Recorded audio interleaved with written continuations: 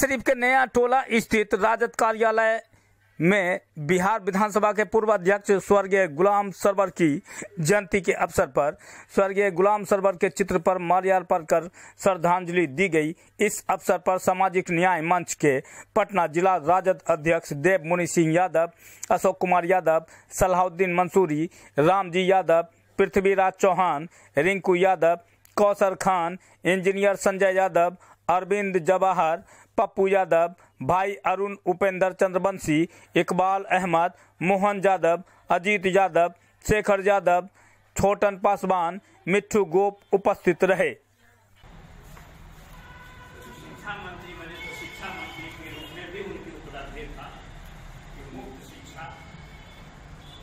व्यवस्था उन्नीस सौ सतहत्तर में दी, अपने शिक्षा मंत्री के काल में भी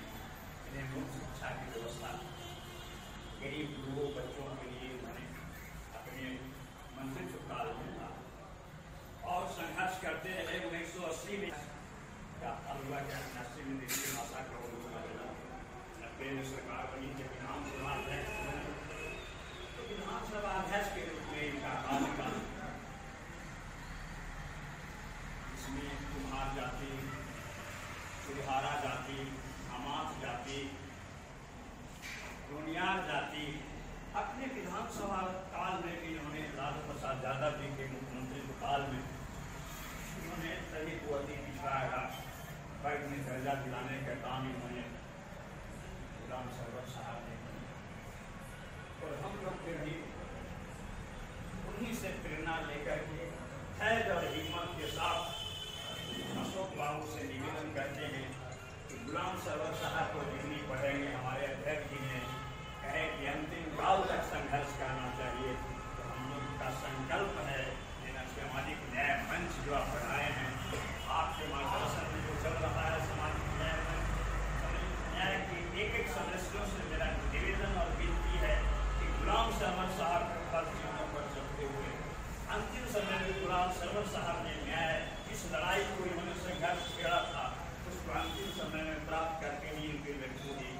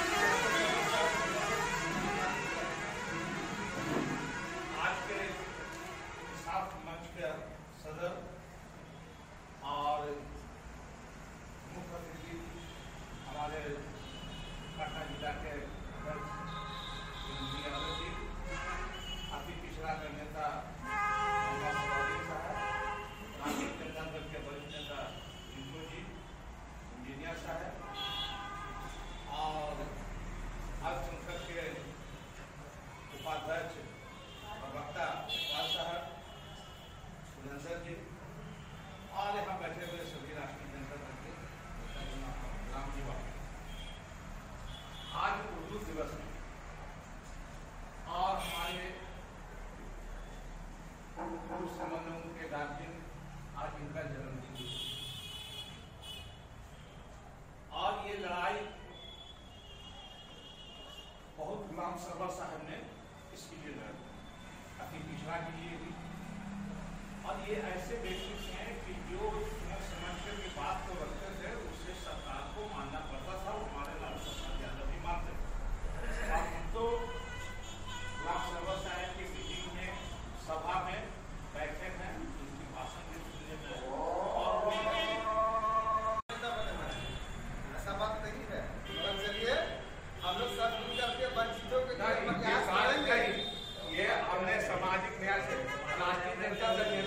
बनाया है बल्कि मेरा काम और मेरा मेहनत दोनों बनाया है। अच्छा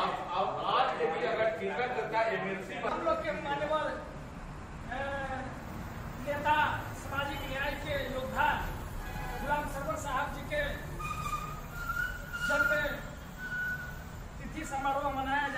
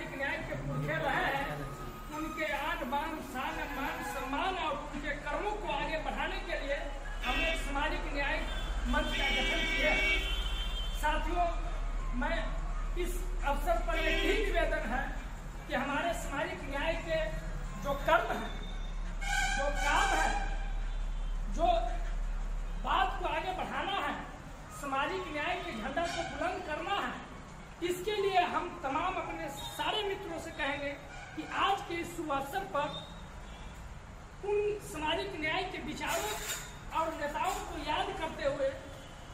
ग्राम सरवत साहब को याद करते हुए अपने आप को संकल्पित होंगे कि मैं सदा सदा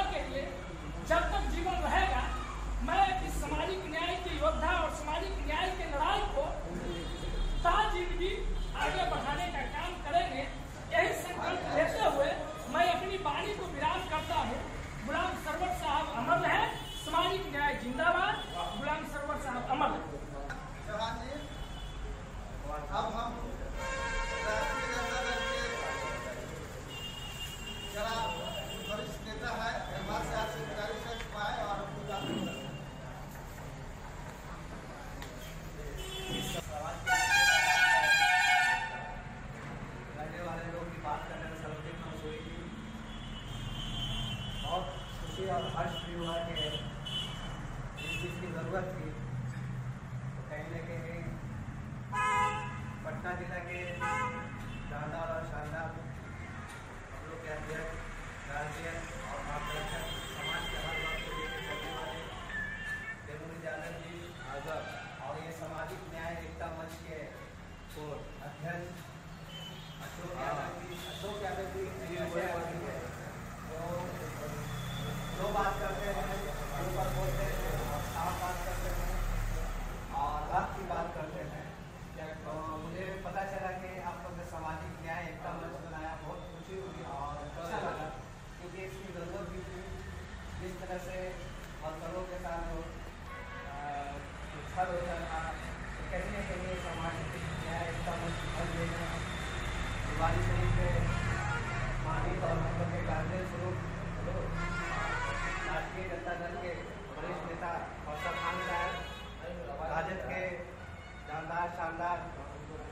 क्या? रिंकू राय यादव जी, इंजीनियर साहब रंजन जी, चौहान जी, मोहन साहब जी, रामजी बाबू सबने बने बहुत शानदार होती है। और जो भविष्यवाणी करते हैं, वही होता है। और हमारे देश में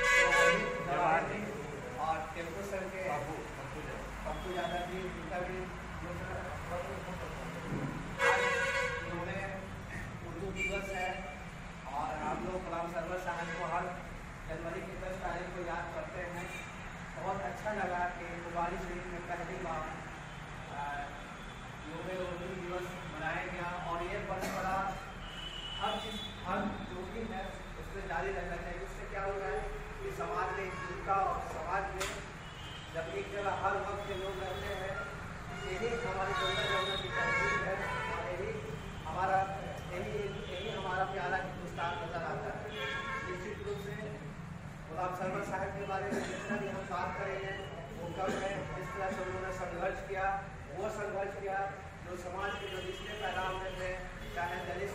वर्ग हो, महादलित हो, चाहे मुसलमानों में, चाहे वो राइट बराती हो मंसूरी बराती हो धोबी हो